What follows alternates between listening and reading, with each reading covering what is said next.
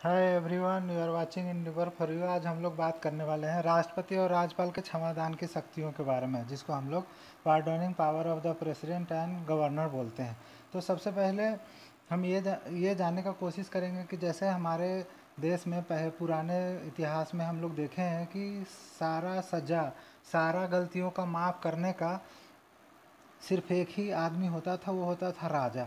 और आजकल के आजकल के युग में हम देखते हैं कि हमारे यहाँ जो संविधान द्वारा प्रदत्त अधिकारियों के अंतर्गत प्रेसिडेंट ऑफ़ इंडिया और governor of the concern state के पास कुछ माफ़ी का पावर है। तो सबसे पहले हम ये जानना चाहेंगे कि लोग माफ़ी के लिए किस किस वजह से पहुँचते हैं। सबसे पहला बात ये होता है उसमें कि जो आदमी, कोई भी आदमी अगर किसी मुकदमे में फांसी का सज़ा पाया या आजीवन कारावास पाया या वो उसे सज़ा दे दिया गया है न्यायालय द्वारा, और जनरली लोग सुप्रीम कोर्ट तक सज़ा कन्फर्म होने के बाद ही अप्रोच करते हैं और ज़्यादातर हम लोग जो देखते हैं, जो भी केसेज आते हैं उसमें से मैक्सिमम केसेस जो फांसी से संबंधित रहता है, उसी पे आज हम लोग बात करने वाले हैं। तो सबसे पहले हम लोग कुछ खास शब्दों में जो बेसिक कीवर्ड्स है, जो बेसिक टर्मिनोलॉजी है, उस पर ध्यान देने का कोशिश करते हैं। जैसे सबसे पहले हम लोग देखते हैं कि in the course of discussion जो शब्द आएँगे, उसमें से जैसे रिप्राइव है रिस्पाइट है कम्यूटेशन है सस्पेंशन है रिमीशन है कोर्ट मार्शल है। और अगर हम बात करें कॉन्स्टिट्यूशनल लॉ के शब्दों में तो ये जो कॉन्स्टिट्यूशनल लॉ होता है, खास करके रिलेटेड टू पार्डन ये थोड़ा सा टेक्निकल होता है। तो मैं चाहूँगा कि अगर कोई भी स्टूडेंट है जो चाहे लॉ पढ़ रहा हो या लॉ से संबंधित कोई किसी टॉपिक पे रिसर्च कर रहा हो या फिर लॉ के साथ कोई कमीशन के एग्ज़ाम में बैठने वाला हो या जुडिशियल एग्ज़ाम में देने वाला हो तो उसको इससे फ़ायदा फ़ायदा, बहुत फ़ायदा होगा। फिर दूसरा है, हम लोग फिर दूसरा देखेंगे कि राष्ट्रपति के जो पार्डनिंग पावर है और गवर्नर के पावर है। दोनों को पावर है, उसमें क्या डिफरेंस है? और इसके बाद फिर हम लोग देखेंगे कि जैसे हम लोग के देश में आर्टिकल 50 के हिसाब से जो separation of judiciary from executive सबका पावर का अपना अपना लिमिटेशन है हाँ? कौन कितना पावर एक्सरसाइज करते हैं? तो फिर एक्सिक्यूटिव कैसे जुडिशियल पावर एक्सरसाइज करता है, वो भी हम लोग देखेंगे। अगर कोई आदमी कन्विक्ट हो जाता है, उसे माफ़ी मिल जाता है, उसके बाद भी कैसे वो चुनाव लड़ने से डिस्कालीफाई हो जाते हैं। और इन सबों के अलावे आप ध्यान से देखते रहेंगे कि कुछ केस लॉज के बारे में हम लोग डिस्कस करेंगे, जिसमें जो मोस्ट इंपॉर्टेंट है, जिसको हम लोग रूपा, अशोक हुर्रा वर्सेस अशोक हुर्रा, उसके बाद केहर सिंह केस हम लोग देखेंगे, उसके बाद मारू राम का केस देखेंगे, उसके बाद शरद शरद चंद्र का केस देखेंगे। और कुछ एग्ज़ाम्पल पे हम लोग डिस्कस करेंगे, अफजल गुरु और याकूब मेनन के बारे में। तो मैं ये कहना चाहूँगा कि अगर if you are really enjoying the video related to pardoning power of the president राष्ट्रपति के क्षमादान की शक्तियों के बारे में तो आप ज़रूर इस वीडियो को लाइक शेयर एंड सब्सक्राइब करिएगा और बेल आइकन को ना दबाना मत भूलिएगा, जिससे हमेशा इसके नए वीडियो जो भी आते रहेंगे, उसका अपडेट आपको मिलते रहेगा। तो सबसे पहले देखिए, गौर से हम लोग ये बताना चाहेंगे कि कोई आदमी कैसे अप्रोच करता है प्रेसिडेंट के यहाँ। तो सबसे पहले देखेंगे कि प्रेसिडेंट के यहाँ अप्रोच करने के पहले उसका मेन उद्देश्य ये होता है कि कोई आदमी जब उसे फांसी का सज़ा मिलता है तो फांसी का सज़ा मिल गया मैक्सिमम जितने भी आज तक आपने पार्डनिंग का पटिशन बिफोर द प्रेसिडेंट सुने होंगे, याकूब मेनन का मामला हो, अफजल गुरु का मामला हो, सबों में जब केस सुप्रीम कोर्ट भी अफर्म कर दिया, तब आते हैं। तो इसके लिए सबसे पहले क्या होता है कि जब हम बेस से चलते हैं। कि सबसे पहले कोई सेशन कोर्ट किसी भी व्यक्ति को किसी सज़ा में सेशन कोर्ट उसको दोषी करार करता है। जनरली वैसे केसेस होते हैं जिसको हम लोग rarest of the rare doctrine बोलते हैं, जो जैसा सिद्धांत निर्भया केस में और उसके पहले भी ये सिद्धांत प्रतिपादित हुआ था। तो जैसे ही सेशन कोर्ट किसी को मृत्यु का दंड का आदेश पारित करता है तो सीआरपीसी की धारा 366 के तहत उसको पहले इस सज़ा को, सेशन कोर्ट द्वारा पारित सज़ा को हाई कोर्ट से कन्फर्म कराया जाता है। जैसा कि आप इधर नीचे देख सकते हैं कि सबसे पहले किसी भी व्यक्ति को सेशन कोर्ट से जैसे ही सज़ा हुआ, उसके बाद उसे हाई कोर्ट में अपील करके वो सज़ा को कन्फर्म कराते हैं।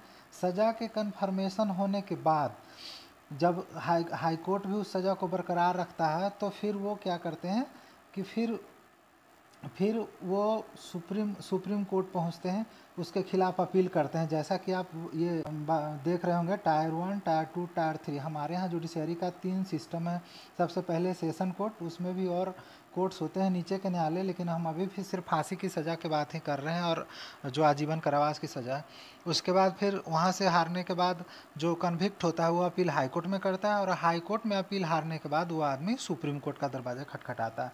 उसके बाद उसके बाद फिर हम आगे देखते हैं कि जब जब ये सज़ा उस, जब सुप्रीम कोर्ट भी किसी सज़ा को बरकरार रखता है तो फिर जो कन्विक्ट होता है, उसके बाद फिर फिर कुछ जुडिशियल सिस्टम में रिव्यू के लिए पिटीशन तो सबसे पहले वो क्या करता है कि जब सुप्रीम कोर्ट सज़ा को कन्फर्म करता है तो फिर वो एक बार जैसा कि आप देख रहे होंगे कि वो जुडिशियल रिव्यू का पिटीशन डालेगा। फिर अगर जुडिशियल रिव्यू में भी उसको फ़ायदा नहीं मिलता है, जो कन्विक्ट है तो फिर वो बोलेगा कि अब क्यूरेटिव पटिशन डालते हैं, क्योंकि वो पहले का जो जजमेंट है उसमें कुछ कमी रह गया, उसको क्योर करने का ज़रूरत है। अगर यहाँ भी सुप्रीम कोर्ट से उसको राहत नहीं मिलता है सज़ा में, सज़ा के बिंदु पे, तब कोई भी व्यक्ति लिखित रूप में आवेदन प्रेसिडेंट महोदय या गवर्नर के जब फांसी की सज़ा होती है तो सिर्फ़ प्रेसिडेंट महोदय के यहाँ ही वो अपील वो फॉर क्लीमेंसी, पार्डन, फॉरगिवनेस, ये सब जिस नाम से भी बोलिए, वो क्षमादान की शक्तियाँ। जैसा कि हमारे संविधान के धारा आर्टिकल 72 में लिखा हुआ है।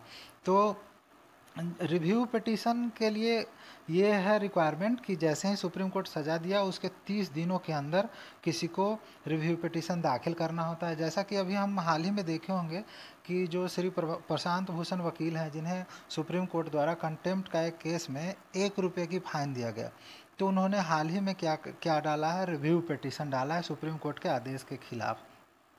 जब जब रिव्यू पिटीशन में भी कि, किसी को वो नहीं मिलता है राहत नहीं मिलता है तो वो फिर क्यूरेटिव पिटीशन डालता है। तो क्यूरेटिव पिटीशन का जन्म, हम जानते हैं जैसा कि क्यूरेटिव पिटीशन का जन्म एक केस था, सुप्रीम कोर्ट में चला था, जिसको रूपा अशोक हुरा वर्सेस अशोक हुरा एंड अनदर नाम से हम लोग जानते हैं। ये बहुत फ़ेमस केस है, इसी से क्यूरेटिव पिटीशन का जन्म माना जाता है। इसमें एक फैमिली का डिस्प्यूट था और उसी से रिलेटेड के केस में, सुप्रीम कोर्ट ने ये तय किया कि in order to avoid miscarriage of justice and prevent you abuse of process के लिए और for the violation of principle of natural justice इन उद्देश्य इन उद्देश्यों के लिए, जैसा कि आप स्क्रीन में देख रहे हैं, इन उद्देश्यों की पूर्ति के लिए क्यूरेटिव पिटिशन डाला जाता है। अब हम फिर आगे का डिस्कशन करेंगे। अगर देखिए, अगर आपको अगर इसमें से कोई वैसा कोई मैटर ठीक लग रहा हो तो आप इसमें से स्क्रीनशॉट भी ले सकते हैं। फिर आगे हम देखते हैं कि हमारे संविधान के आर्टिकल 72 में क्या क्या प्रोविज़न है। इसको शॉर्ट में हम लोग ऐसे समझें कि राष्ट्रपति को किसी भी अपराध में सिद्ध दोष ठहराए गए व्यक्ति के लिए क्षमा, उसका प्रविल, प्रविलंबन, विराम या परिहार करने अथवा दंडादेश के निलंबन, परिहार या लघु करने की शक्ति होगी, कहाँ तक होगी? जिसमें दंड या दंडादेश सेना न्यायालय ने दिया हो। उन सभी मामलों में जिनमें दंड या दंडादेश ऐसे विषय के विरुद्ध दिया गया हो, जिसमें संघ की कार्यपालिका शक्ति का विस्तार हो, या उन सभी मामलों में जिनमें दंडादेश, मृत्यु दंडादेश से संबंधित है। तो आप इससे समझ गए होंगे कि हमारे राष्ट्रपति महोदय का जो ये क्षमादान की शक्ति है, उसका, वो कहाँ तक सीमित है? अब हम आगे देखते हैं कि क्षमादान की शक्ति तो राष्ट्रपति महोदय के पास भी है और गवर्नर के पास भी है। तो लोग कब किसको अप्रोच करें? तो इसका बेसिक अंतर आप देख सकते हैं, जो स्क्रीन पे ऑलरेडी आपके स्क्रीन में अपीयर हो रहा होगा, कि राष्ट्रपति की क्षमादान की शक्तियाँ, जहाँ पे कोई सेना न्यायालय द्वारा कोर्ट मार्शल की सज़ा किसी किसी व्यक्ति को दी गई है, वहाँ भी लागू हो सकता है। मतलब उसके खिलाफ भी लोग राष्ट्रपति महोदय के यहाँ क्षमादान के आजकल लगा सकते हैं।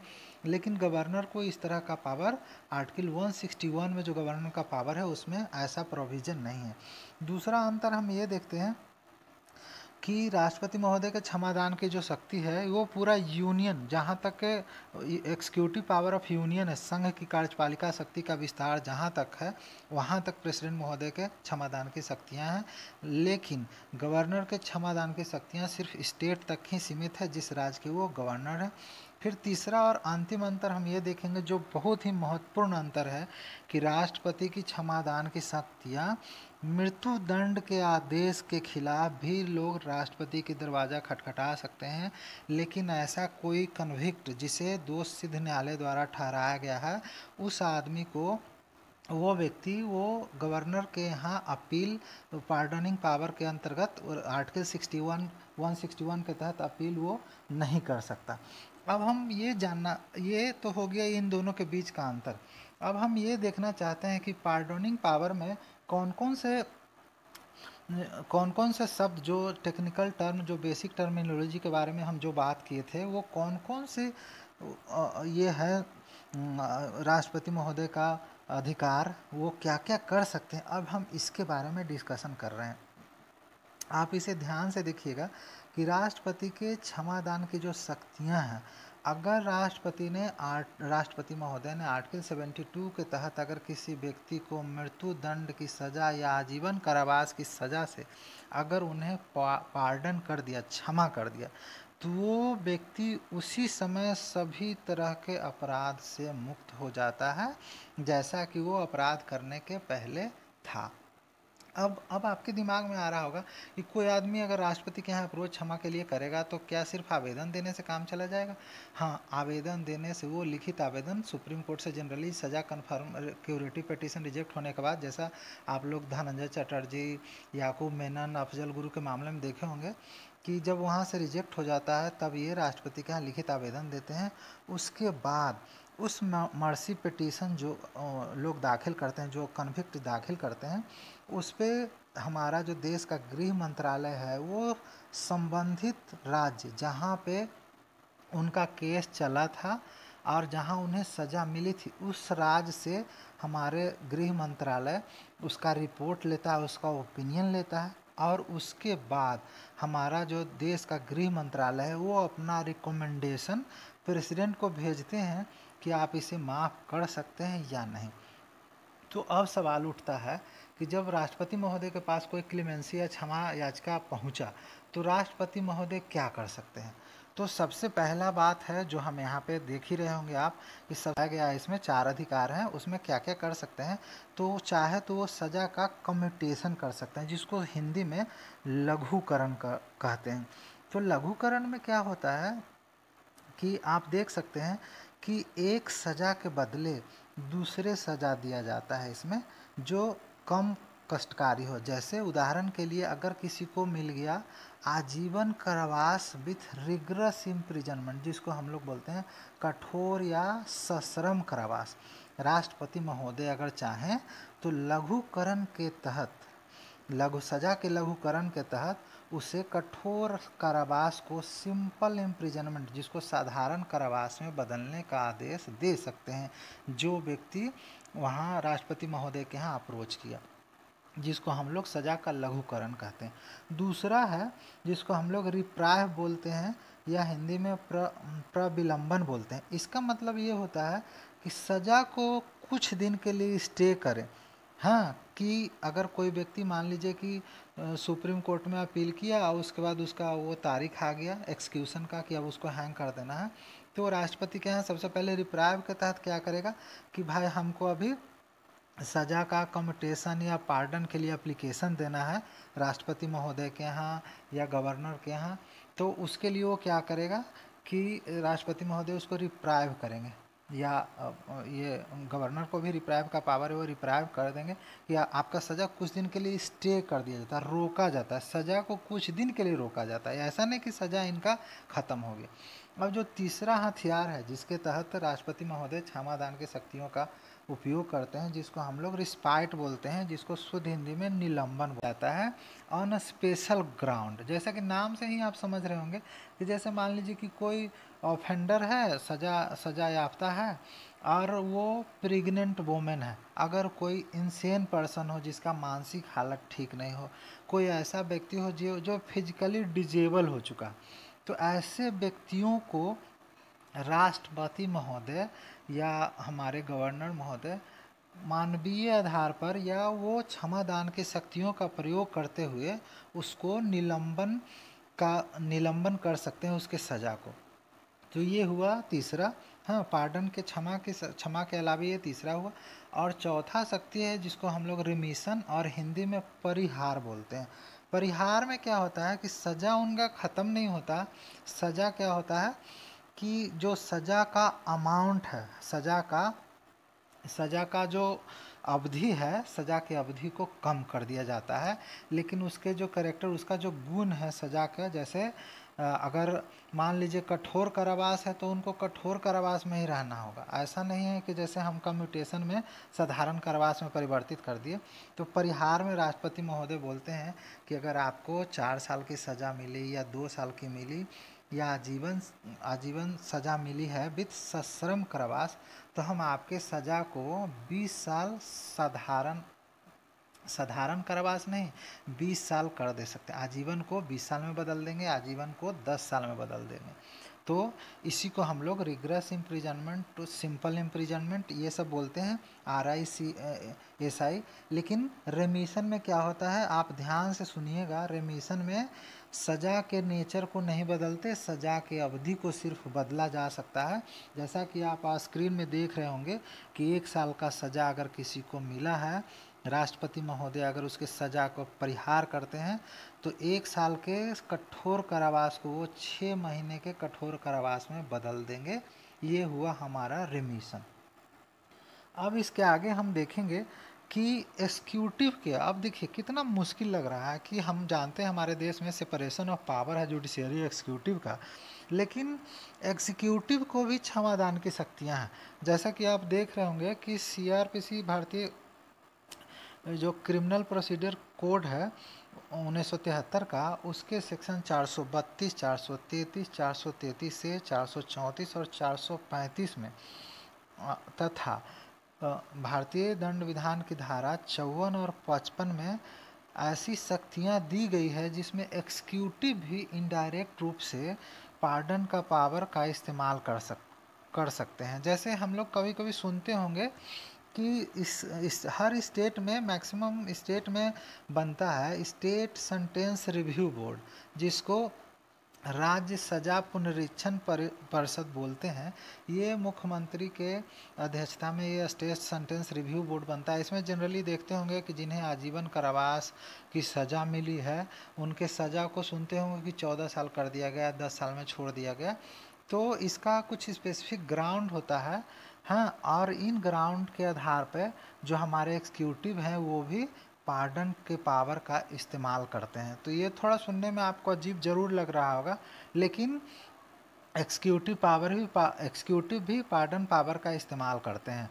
तो हमको ये महसूस ज़रूर हो रहा होगा कि आप बहुत बहुत ही आसानी भाषा में हम समझा रहे हैं। आप बिल्कुल आसान आसानी पूर्वक इसे समझ रहे होंगे।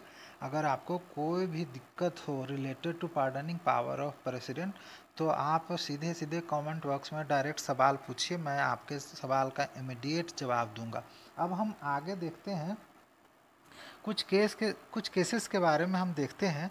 अगर जैसे अगर कोई लॉ से रिसर्च या कुछ खास केस के बारे में आपको इंटरेस्ट है कि अफजल गुरु के केस में क्या हुआ था, याकूब मेनन के केस में क्या हुआ था तो आइए मैं इसके बारे में थोड़ा सा सारांश बताता हूँ कि जैसे अफजल गुरु जो पार्लियामेंट अटैक में दोषी पाए गए गए थे और उसमें क्या हुआ था कि यूपीए का सरकार था और प्रेसिडेंट के यहाँ पेंडिंग था। तो वो नेचुरली कहाँ आता है? पिटिशन भारत सरकार के पास। भारत सरकार करीब करीब तीन साल की देरी उसके मर्सी पिटिशन को ग्रांट या रिजेक्ट करने में लगा दिए अब देखिए इससे क्या पता चलता है कि जो पावर है प्रेसिडेंट का या गवर्नर का, ये एक तरह से रिपोजिटरी टाइप से इस्तेमाल होता है। कि वहाँ पे डाल दिए, अब जब सुनवाई हो, कब सुनवाई हो, सरकार कब चाहेगा, उसके हिसाब से सुनवाई होगा। दूसरा हम देखते हैं, जैसे याकूब मेनन का केस मामला देखते हैं। याकूब मेनन के केस में क्या हुआ था? उनको भी डेथ सेंटेंस हुआ था, उन्नीस सौ उन्नीस के मुंबई बम धमाके के में केस में उन्हें सज़ा हुई थी। लेकिन उसके बाद क्या हुआ? हाँ पिटीशन का बाढ़ आ गया। एक पिटीशन गवर्नर के यहाँ, उनके यहाँ से रिजेक्ट हुआ, फिर बोले उनके रिजेक्ट करने का तरीका सही नहीं है। फिर सुप्रीम कोर्ट पहुँच गया कि इनका तरीका ठीक नहीं है। फिर इन्होंने राष्ट्रपति के यहाँ लगाया। मैंने इस तरह से राष्ट्रपति महोदय और गवर्नर के यहाँ, और फिर उस उस आदेश का राष्ट्रपति या गवर्नर के यहाँ जो आदेश हो उसको चैलेंज करके सुप्रीम कोर्ट पहुँचते। इस तरह से आप ये भी देखे होंगे कि दो बजे रात को कोर्ट भी हमारा जो उच्चतम न्यायालय है, माननीय उच्चतम न्यायालय के न्यायाधीश लोग बैठे थे और इस पर सज़ा सुनवाई और फाइनली क्या हुआ कि दो तीन बजे तक इनका फैसला चला और उसके बाद फिर उनको एक्सक्यूट कर दिया गया। तो हम हम, मेरे कहने का मतलब ये है कि ये जो पार्डनिंग पावर है प्रेसिडेंट थ्रू एग्जीक्यूटिव इसमें कुछ राजनीति वगैरह भी होता है, ये आप ध्यान रखेंगे। इसके बाद हम लोग देखते हैं कुछ इम्पोर्टेंट केस लॉ के बारे में। तो जैसा कि आप जानते हैं कि रूपा अशोक हुर्रा वर्सेस अशोक हुर्रा का जो केस है, इसी से क्यूरेटिव पिटीशन का जन्म हुआ हमारे देश में।